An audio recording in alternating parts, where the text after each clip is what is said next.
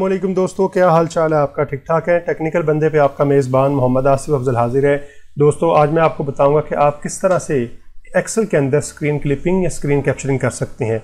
इसके अलावा हमने एक और वीडियो लेक्चर बनाया हुआ है, जिसमें आपको जो है स्निपिंग टूल के बारे में बताया गया हुआ है, जो कि आपका ये सेम काम करता है। लेकिन वो एक अलग से टूल है। अगर आप एक्सेल के अंदर काम कर रहे हैं तो आप एक्सेल में ही रहते हुए स्क्रीन क्लिपिंग या स्क्रीन कैप्चरिंग कर सकते हैं।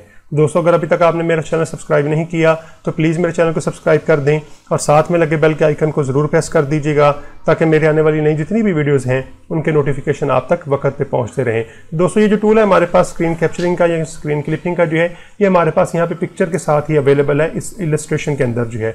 यहाँ पे ये हमारे पास टूल है, जिसकी मदद से हम स्क्रीन कैप्चरिंग या स्क्रीन जो है उससे कैप्चर कर सकते हैं। जैसे ही आप इसके ऊपर क्लिक करेंगे तो हमारे पास देखें, जो अभी मैंने रिसेंट जितनी भी मेरी स्क्रीन थी, उसने उस, उनका एक जो है, वो स्क्रीन लेके अपने पास रखा होता है।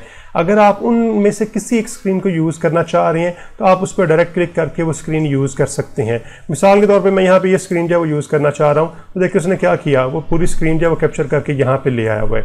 यानी उसने अपने पास पहले से स्क्रीन जो है वो रखे हुए थे जब मैं भी यूज़ कर रहा था। अपने पास जो है उसने क्लिप के अंदर रख लिए हुए थे।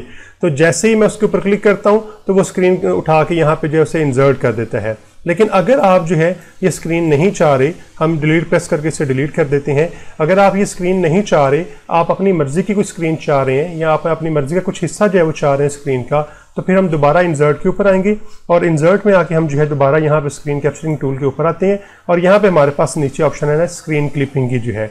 तो जैसे ही आप इसके ऊपर क्लिक करेंगे जो है तो हमारे पास जो भी रिसेंट स्क्रीन मैंने अभी यूज़ की थी तो ये मुझे उसके ऊपर ले जाएगा। मिसाल के तौर पर मैं जैसे ही स्क्रीन क्लिपिंग के ऊपर क्लिक करता हूँ तो ये वो रिसेंट स्क्रीन थी जो मैं अभी यूज़ कर रहा था। तो अगर इसमें से मैं कुछ पोर्शन जो है वो लेना चाह रहा हूँ तो वही ये अभी सारी डल होगी हुई है।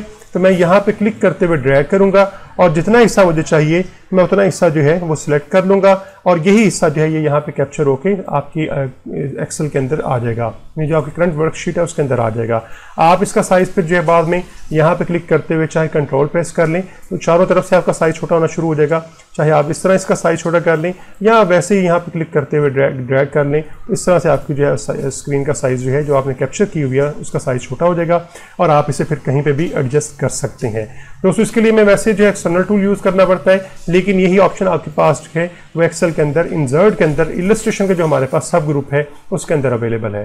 तो उम्मीद है आपको वीडियो पसंद आई होगी तो वीडियो को ज़रूर लाइक कर दीजिएगा और साथ में अगर आपने मेरा चैनल अभी तक सब्सक्राइब नहीं किया हुआ तो मेरे चैनल को भी सब्सक्राइब कर दीजिएगा और साथ में लगे बेल के आइकन को भी ज़रूर प्रेस कर दीजिएगा ताकि मेरे आने वाली नई जितनी भी वीडियोज़ हैं, उनके नोटिफिकेशन आप तक वक्त पर पहुँचते रहें। ओके जी, मिलते हैं अपनी नेक्स्ट वीडियो के अंदर।